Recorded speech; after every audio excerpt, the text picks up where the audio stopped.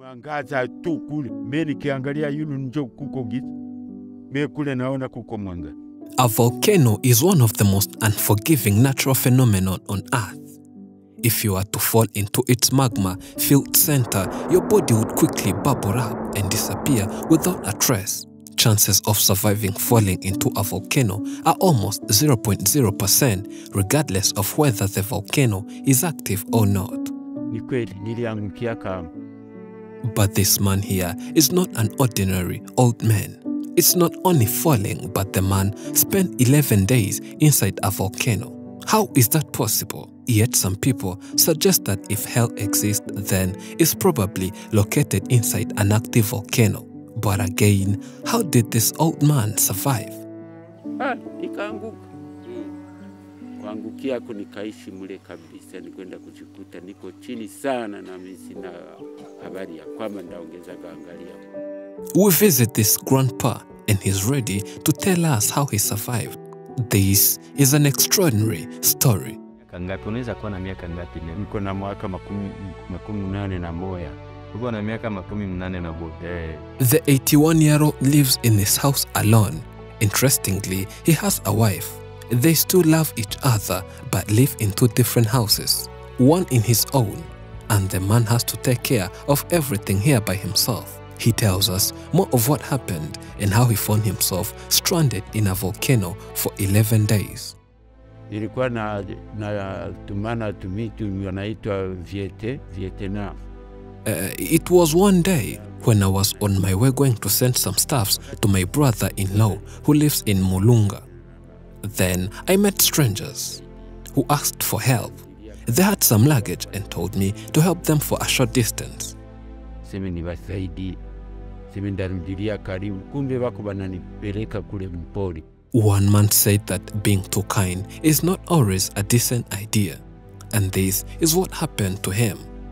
They walked, walked, and covered thousands of kilometers, yet he was told it's a short distance, and they weren't going far, but found himself in one of the forests in northern Kivu between the famous active Nyiragongo and the dormant Nyiramurajira volcano. Kufika kule tulilala njia, asubuhi kutembea. The next morning, as we were walking around the volcano mountains where they were used to passing daily, and there was me who knew nothing, I somehow mistakenly slipped and fell deep down in the volcano. Lucky, I was not seriously injured but had some minor injuries. My heart skipped. I was terrified and lost hope. I knew no one would get me out of that volcano. Yakabambi, kumbe mengine bako wanavuka wanapajua, mie ni kwenda kupapita ya chini. What he saw with his two eyes was really terrifying. He was stuck in too much darkness with little light coming from afar above him. He saw something that looked a bigger snake with a length of more than 5 meters approaching him and he almost fainted.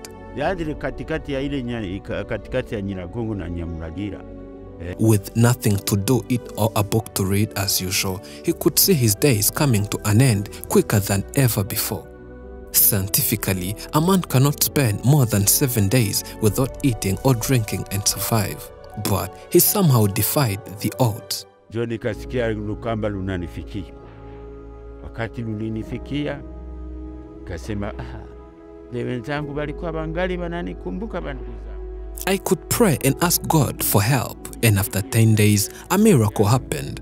Those guys who took me in that forest were on a mission to rescue me. They threw a rope that was long enough to reach in the bottom where I was, and I tied myself to it, and they pulled me out.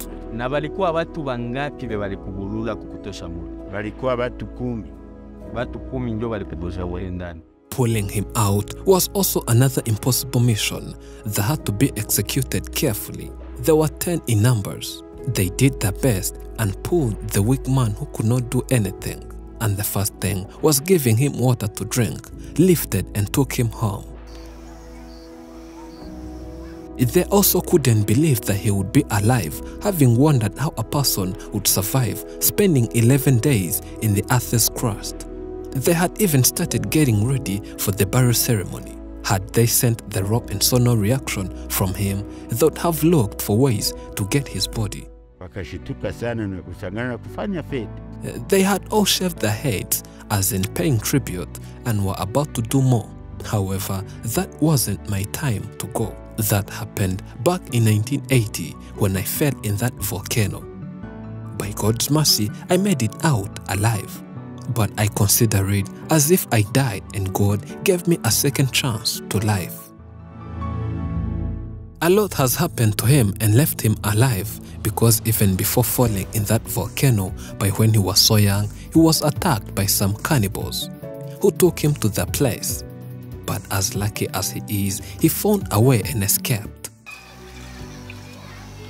Back to surviving the volcano, I was shown another volcano right next to where I fell and I was told that had I fallen there, then it would have been the end of my life because it was still an active volcano. And that is Nyiragongo. I was told that a few days before my rescue, a man fell there and no one ever heard of him again. He says that due to the fact that there were not any other person who fell there and returned, some people could not believe him, including family members like his sister. And due to doubting him, someone had to take a bold, risky, and again silly or indecent decision of checking whether one would go inside a volcano and return alive. He gave it a try, and that never went well with him as he died instantly. The 81 year old now lives here in this house alone. But despite old age, he's not your ordinary old man. He tries doing every activity by himself.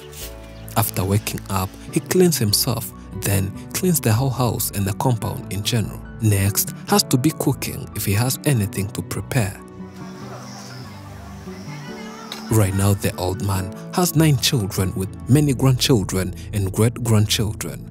The wife lives in the same neighborhood, but at the moment they can't share the same house for their special reasons. And he did not want to say more about him and her wife's relationship. But the thing is that despite not living together, they still love each other. If not doing any other thing, he has to go through some of his books and read to enlighten himself. As we all know, reading books is so important for a variety of reasons. It can improve one's reading comprehension and critical thinking skills. Additionally, reading can also provide knowledge and information on a wide range of topics and expose individuals to new ideas and perspectives.